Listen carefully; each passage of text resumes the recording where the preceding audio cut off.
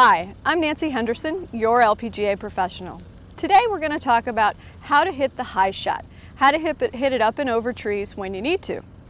What you'll do is you'll take your normal ball location in your stance and move the ball one ball forward of that location. What that's going to do is add loft to this club and help you take it up and over the tree or whatever object is in front of you what you want to do with your swing itself is to make sure that you swing down to the ball and then follow through high up in the air. That will help you elevate the ball up and over the tree. The trick is to swing down first and then up and through. That downward motion will drive the ball up in the air for you.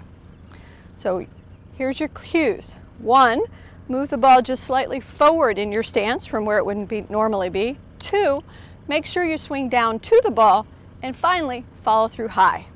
Let's see if we can do that.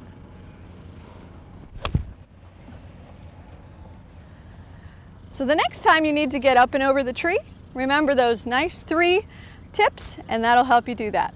Go to lpga.com to find a teacher near you.